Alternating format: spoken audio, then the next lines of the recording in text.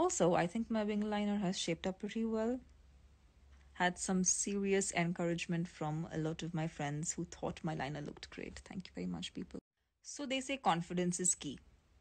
But what about the days you are not feeling up to it? What about the days you're full of doubt and your mind's all muddled up and you don't know what to do? But you still don't want to compromise. I stopped thinking about what other people are thinking, what's going to happen, whether it's going to work out, not work out, whether it'll be good or bad, or just not worry about any consequence and just do what I'm supposed to do. And on what you're doing, and you want to give it your best.